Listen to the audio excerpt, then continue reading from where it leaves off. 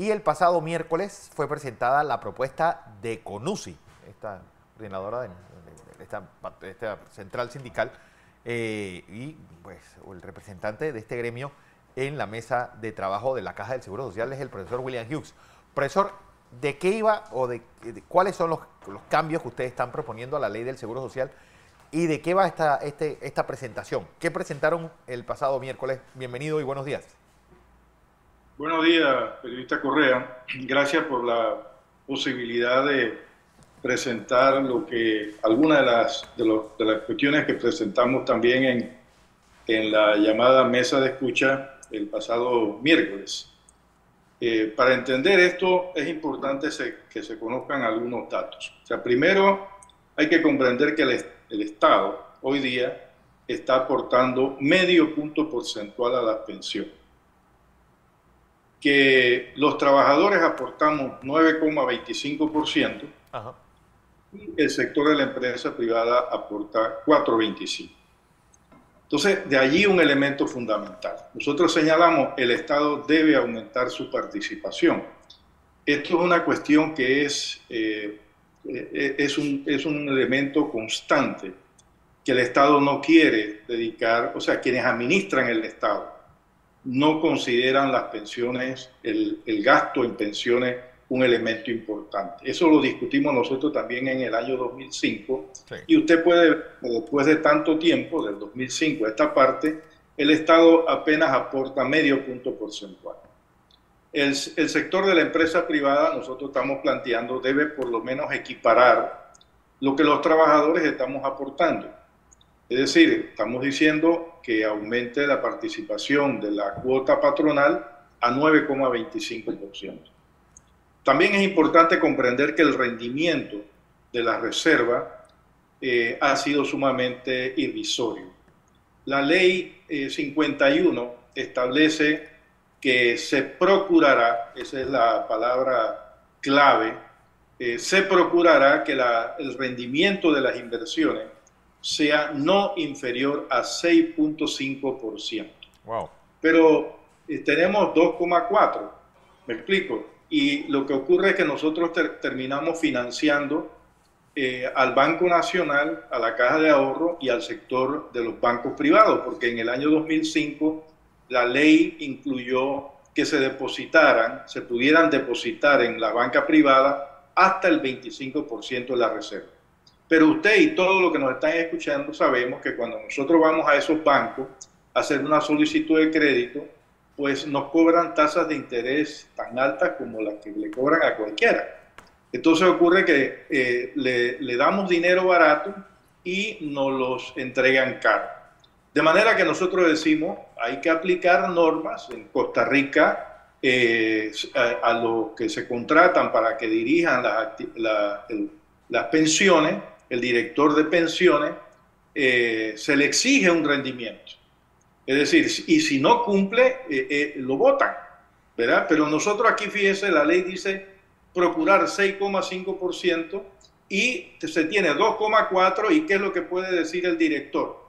El director Lao que acaba de salir y que lo podrá decir también el señor Mon cuando le, le corresponda. Bueno, lo procuramos, pero no lo logramos. Y allí no pasa nada. Entonces, nosotros decimos, es importante mejorar el rendimiento de la pensión. El otro dato importante que hay que tomar en cuenta es cuántas cuotas estamos cotizando hoy día. Hoy día, en promedio, los trabajadores, y esos son datos que, tiene la, eh, que fueron entregados en la mesa de escucha eh, por el señor Mon, eh, los varones estamos aportando anualmente siete cuotas al año periodista Correa. Es decir, los varones tienen que trabajar 37 años para poder llegar a cumplir 240 cuotas. Las mujeres tienen que trabajar 41 años, 41 años y medio para poder cumplir las 240 cuotas. Entonces, el promedio en que las personas están llegando a cubrir esas cuotas, cuando lo llegan a cubrir, es 63 años.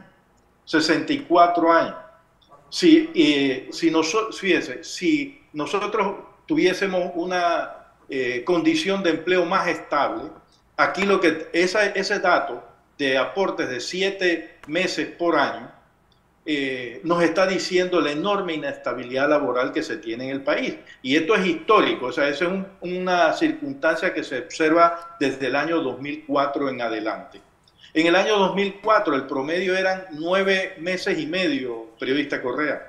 En, el 2004 esos datos nos los dieron, nos los dio la Caja del Seguro Social en aquel entonces. Ha disminuido. Por tanto, hoy día tenemos que trabajar más tiempo para cumplir la, para, para cubrir la mínimo de cuota.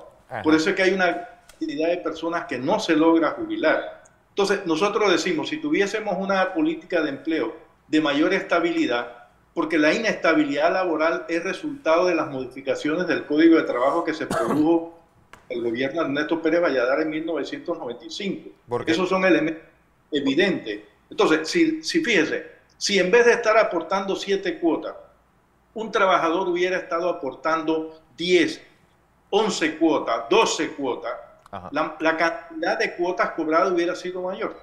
Entonces, nosotros lo que estamos diciendo es que el gobierno tiene que desarrollar cambios en la política económica. La distribución del ingreso es una cosa terrible, ya nosotros esos datos hemos dicho. la participación de los salarios en el Producto Interno Bruto ha estado decayendo 48% a 22,7% en el periodo 1992 esta parte.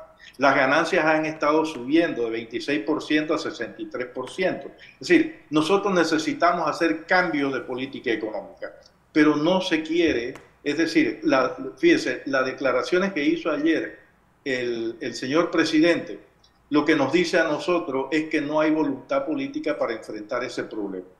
Él dice que, eh, que se tenían que presentar propuestas viables, pero ¿quién define lo viable? Bueno, el gobierno, ¿verdad? Porque si el gobierno dice, no, ustedes están planteando aumentar la participación, que es nuestra propuesta, de manera escalonada, que el Estado aumente su participación de medio punto porcentual, fíjense, a 3,5 puntos porcentuales. Hay países que tienen 10% del Producto Interno Bruto destinado a pensiones. El, el que menor aporta, eh, uno de los que menor aporta es Panamá. Pero hay 2,4, hay 3,5, hay 8, hay 7, hay 5. Es decir, es factible, si hay voluntad política, que el Estado aumente su participación. En España, la empresa privada aporta el 24% a las pensiones, el trabajador aporta 4,25%. Es decir, la filosofía con, con la cual se crea el sistema de pensiones a finales del siglo XIX es que nosotros los trabajadores aportamos a nuestras pensiones. Nosotros no financiamos nuestras pensiones. Eso participa el Estado y participa la empresa privada. En este sentido, profesor William, termina una etapa. Ya el presidente precisamente ayer anunciaba que ya el lunes comienza otra etapa que es la de la homologación y se espera que ya para el 6 de noviembre sea presentado para sesiones extraordinarias. La similitud que se tuvo en las propuestas presentadas, que fueron, eh, si no me equivoco, como de 10 a 11 propuestas con la presentada por CONUSI, ha sido, eh, en algunas ha coincidido y cómo usted cataloga esta, esta primera etapa de presentación de propuestas y análisis. Bueno, eh, fíjense que el, el, único sector que ha planteado cuentas individuales y nosotros planteamos la unificación de los sistemas porque estamos promoviendo que los jóvenes tengan mejores pensiones en el futuro. La historia y los estudios demuestran que las cuentas individuales en el mundo, pero me centro en América Latina, ha significado que las pensiones sean sumamente eh, bajas. El mejor de los casos, 37% del salario final es lo que están recibiendo los pensionados. Casos más extremos, el de Chile, 11%. ¿verdad? Entonces, y, además nosotros mostramos el 50% de los, de los pensionados actualmente ganan, tienen pensiones de 400 balboa y menos. Hay pensionados que tienen 77 balboas de, pensión. Y esos son datos que ellos mismos ofrecieron. O sea, nosotros, fíjense, hay, una, hay, un, hay un discurso que dice eh, hay que tener eh, sacrificios compartidos. Y nosotros hemos dicho, podemos coincidir con esa filosofía, pero ¿Cuáles son las medidas paramétricas? Por eso nos oponemos a las medidas paramétricas. Aumento de edad de jubilación, eso no es sacrificio compartido, ese es un sacrificio del trabajador. Aumento de la cantidad de cuotas mínimas para aportar, también es un sacrificio del trabajador. Todas, todas son sacrificios del trabajador. La única que es compartida es la cuota obrero patronal y allí los trabajadores estamos aportando más. Por eso decimos que aumente mínimamente a 9.25. Entonces, eh, la mayoría de las propuestas han estado coincidentes, no, no la mayoría, todas, excepto la de la empresa privada, eh, plantea la unificación de los sistemas precisamente porque estamos preocupados porque esa juventud reciba mejores pensiones en el futuro. Y además, lo que estamos diciendo es que debe haber una mayor participación del Estado. Eso es una comunidad de opinión. La mayor participación del Estado y mayor participación de la empresa privada, que ya nosotros hemos estado aportando. Yo estoy dando cifras, mire, de cuántos años requiere trabajar una mujer, 41, 42 años, para poder cumplir 240 cuotas. Que el hombre necesita, el varón necesita trabajar 37 años.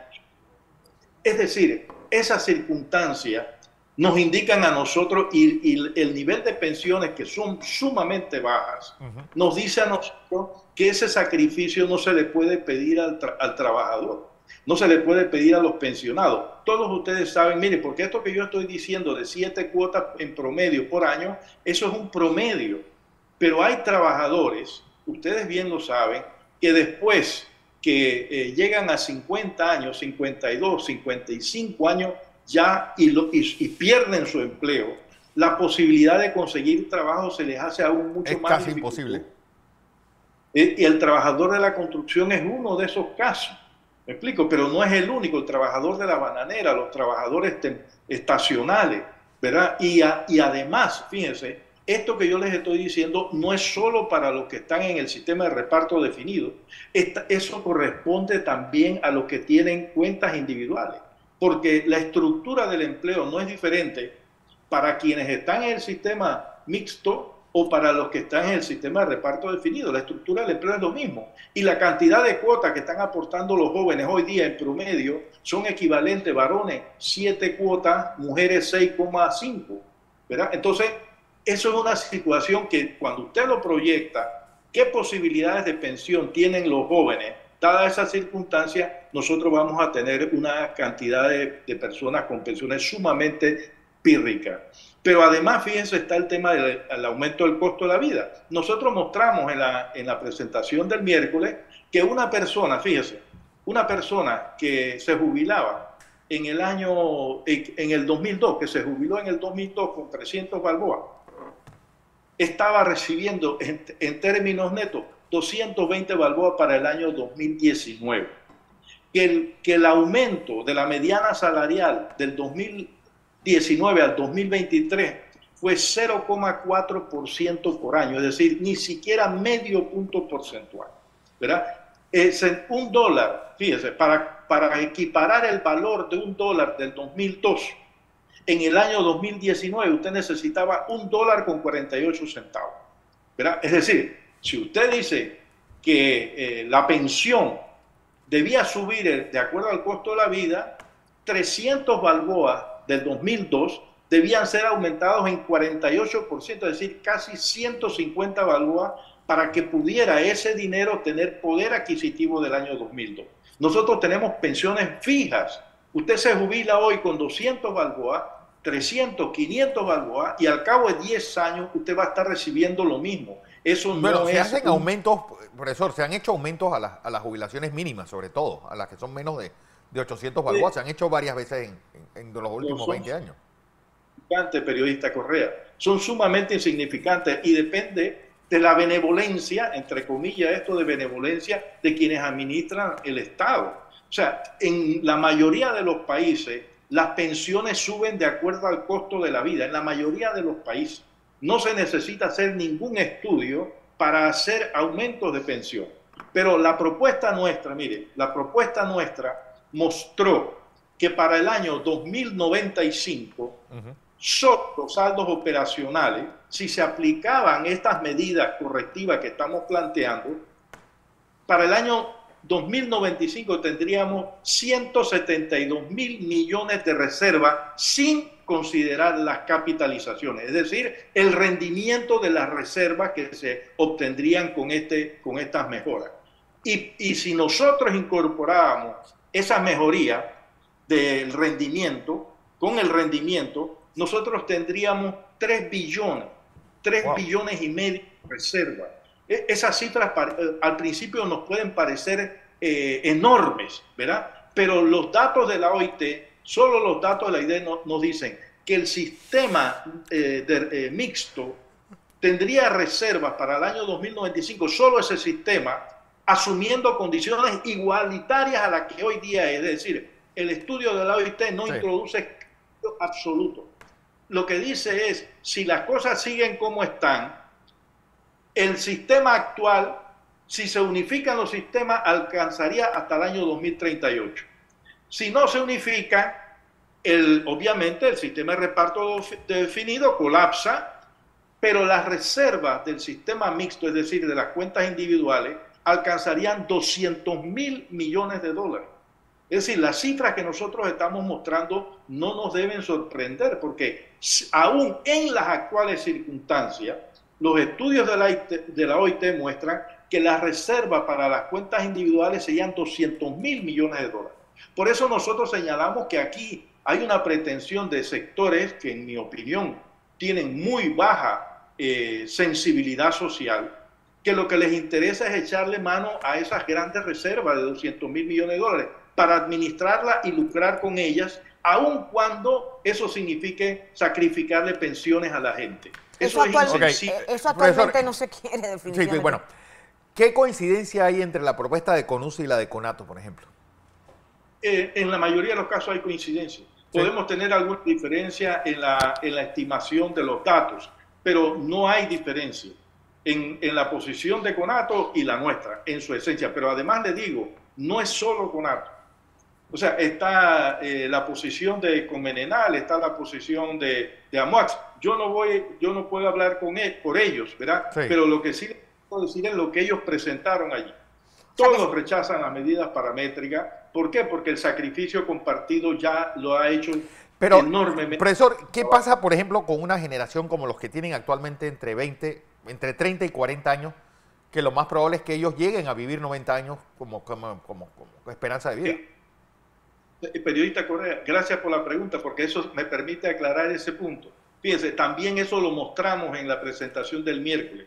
Los varones, los varones hoy día están, eh, en su, probabilidad de muerte después, de pensionado han ha aumentado del año 2018 a esta parte. Y el estudio actuarial que se presentó en 2021 por la Junta Técnica Actuarial señala que los, varones, su probabilidad de muerte también aumentó del año 2009 al 2018. Y ahora el nuevo estudio que presentó allí en la mesa de escucha nos dice que del 2018 al 2022 también aumentó la probabilidad de muerte de los varones. Es decir, los varones estamos cobrando menos, menos meses de pensión, menos años. O sea, eso es una realidad los promedios. Pero ¿cómo, ¿cómo podemos vivir menos si la esperanza de vida del país subió? Es que ese, ese, este, estamos hablando de los promedios. Mire, yo, usted bien lo sabe. Usted tiene un pollo y dos personas, el promedio es que cada uno se comió medio pollo. Claro. Pero la verdad, uno solo se pudo haber comido el pollo. ¿Verdad? Entonces, cuando usted habla de los promedios, usted cunde mucha desigualdad. Y por eso nosotros planteamos en la mesa de esta de escucha que lo ideal sería hacer una evaluación de la, de, eh, de, la probabilidad de fallecimiento de un pensionado por, por niveles de ingreso, las esperanzas de vida por niveles de ingreso. Mire, el, el doctor Enrique Mendoza, por parte de Max, presentó datos que le digo que eran realmente eh, impactantes. O sea, de, la, de los problemas socioeconómicos que se tiene para las personas de, de menores niveles de ingreso. Entonces usted no puede plantearse que la esperanza de vida son 90 años, porque además eso no es verdad. ¿verdad? Pero, pero eh, que, se ha aumentado las expectativas de vida. Mire, el caso de las mujeres. Las mujeres dicen, no, las mujeres viven más, más tiempo que nosotros. Y en verdad, en promedio es así. Pero tienen que trabajar más tiempo, periodista Correa. Tienen que trabajar más tiempo.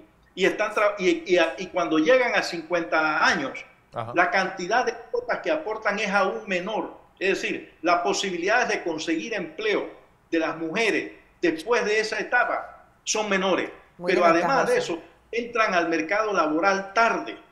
Es decir, yo insisto en esto de, que hay un discurso que nos, fíjese, nosotros cuestionamos un estudio que presentó el señor La, Torraca, que es asesor del donde eh, él señalaba que nosotros cobramos eh, eh, más, más dinero en pensiones de la que pagamos.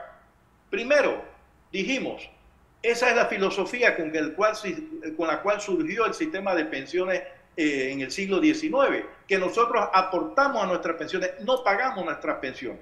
Pero además, mire, ese dato que está mostrando el señor eh, La Torraca no dice cuántos años trabajó la persona, no dice cuántos meses trabajó la persona. Y si yo le digo a usted que actualmente eh, trabajamos siete meses por año, aportamos a las pensiones, siempre y cuando no nos las roben, porque está el otro tema de la morosidad y el robo de las pensiones. Siempre y cuando no nos las roben, estaríamos pagando siete meses por año. Bueno, ¿qué pasaría si nosotros pagamos 12? No estaríamos aportando más a nuestras pensiones. Y a lo mejor lo que tiene que cubrir la empresa privada y el Estado no es a lo mejor, de hecho sería menor. Si nosotros esa reserva le damos un mejor rendimiento, Mire, en el Banco Nacional nosotros tenemos depósitos a corto plazo que nos dan medio punto porcentual, 1%. Es decir, nosotros estamos subsidiando eh, eh, eh, a, los bancos privados y a la, a la banca oficial. Profesor, usted, está haciendo una tremenda docencia, profesor, actualmente está haciendo tremenda docencia con referencia a la otra parte, la parte eh, quizás que muchos desconocen, la económica eh, de la Caja de Seguro Social. Pese a esta situación, usted pide que hay que hacer cambios a la política económica y que hay ciertas coincidencias con las otras propuestas. Eh, ¿Cómo está ahora mismo con UCI? ¿Se sienten confiados que lo que se va a homologar a partir de lunes va a ser tomado de esas propuestas que usted ha presentado, que ustedes han presentado y que se han dado coincidencia, va a ser presentado y tomado en cuenta. ¿Sienten ese optimismo o todavía ciertas dudas? No, nosotros no tenemos optimismo, desgraciadamente. Las palabras del señor presidente en el día de ayer corroboran lo que nosotros hemos estado diciendo. Esa es una mesa de escucha nosotros presentamos propuestas, todo lo que hemos presentado propuestas, ellos van a hacer lo que a ellos les considere conveniente y quienes van a evaluar quiénes son, qué, cuál es la propuesta sustentable, van a ser ellos. El señor presidente ayer dijo que era sustentable. Bueno, que el Estado no puede pagar más si el Estado no tiene recursos, ¿verdad? Eh, que, el, eh, que todos tenemos que aportar, que todos tenemos que aportar. ¿verdad? Como si nosotros ya no estuviésemos aportando, ¿verdad? Entonces, el discurso del señor presidente ayer, muy lamentable desde mi punto de vista, pero además amenazante, amenazante porque lo que plantea es que si el movimiento social en defensa de sus derechos de pensiones está en calle a protestar, eso él no lo va a permitir. Y, y llamó a ese sector revoltosos, radicales, etcétera. Realmente le digo, esa no es una mesa para discutir. Nosotros ayer presentamos una serie de cuestiones y nosotros dijimos, lo dijimos, discutámosla, discutámosla. esa es la idea.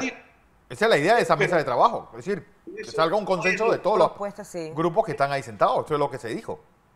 Eso no es lo que ocurre, periodista Correa. Por eso es que nosotros desde el inicio señalábamos que era necesario que esto se televisara ¿Me explico por qué? Porque la población puede saber lo que está pasando. Pero allí yo hice la presentación, eh, se hicieron preguntas por parte del sector de la empresa privada principalmente, ¿verdad? Eh, el ministro Chapman hizo algunas preguntas de precisión de, qué, de lo que yo estaba haciendo y allí cerró todo, allí cerró todo.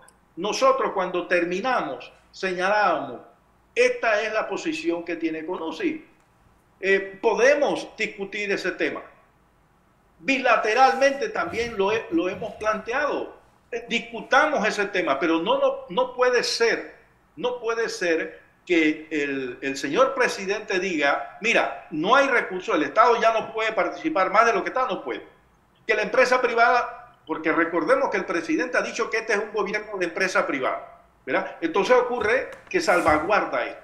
Nosotros mostramos la evasión fiscal enorme que hay.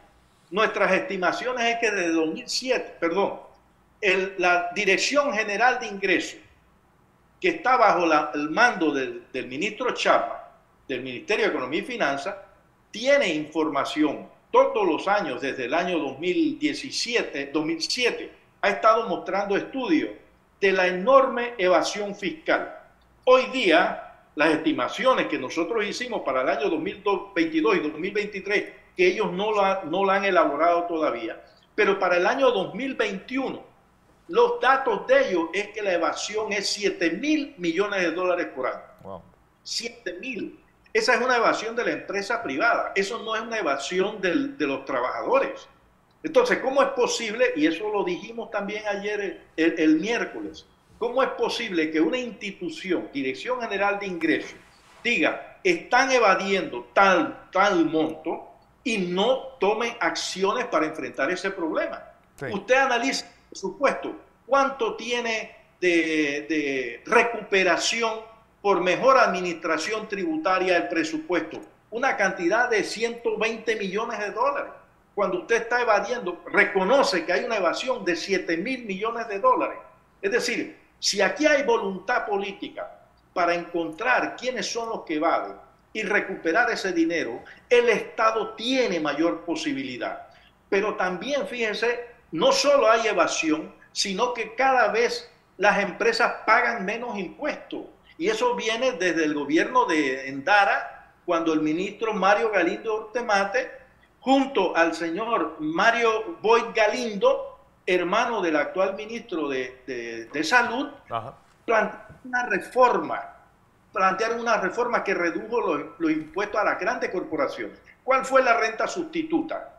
los ingresos del canal, periodista Correa y estimada periodista, ¿verdad? Es decir, nosotros le hemos transferido al sector de la empresa privada las ganancias del canal porque no, para que ellos pagaran menos impuestos, nosotros tuvimos que cubrir esa reducción de, los, de los, ingresos con los ingresos del canal. Ahora nosotros planteamos, y no solo eh, con UCI, todo el movimiento social está planteando que se tomen recursos de, la, de, las ganancias del canal que entrega regularmente al, al, Estado. Y hablamos de una cantidad pequeña, 10%.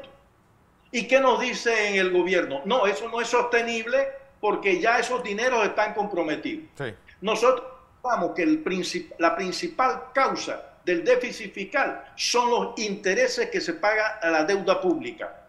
Y no hay política con relación a eso. Se sigue con esta lógica de endeudamiento. 43% de la deuda que tenemos hoy día, estimados periodistas, son capitalización de intereses. Es decir, intereses que no pudimos pagar y se convirtieron en deuda sin que nos dieran intereses que empiezan a cobrar intereses sobre intereses. Eso es usura. Eso no es negocio económicamente hablando. Eso es usura. Entonces, hay condiciones. Claro. Eh, Vamos para a, poder dar el problema con mejores condiciones. Vamos a ver qué pasa a partir del lunes. Profesor William Hughes ayer hizo su presentación, representante de CONUSI.